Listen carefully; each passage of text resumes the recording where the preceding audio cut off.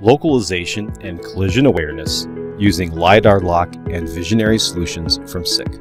The automated guided vehicle is equipped with safety laser scanners, a nav lock system, and visionary 3D cameras.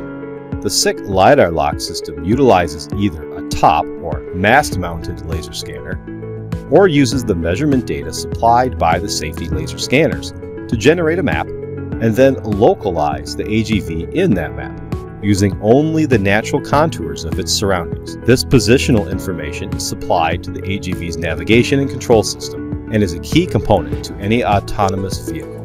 The Visionary 3D camera evaluates the space above and around the safety scanners, looking for obstacles above the plane of the safety scanner's laser. The obstacles could be forks from other manned or unmanned vehicles, a part or tool jutting out from a shelf, or in this case, a hook from an overhead crane.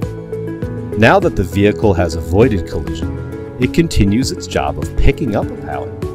For this task, another Visionary 3D camera is employed, this time to locate the pallet and the fork pockets in the pallet. The coordinates of the pocket are sent to the vehicle's control system to precisely position the forks for pickup.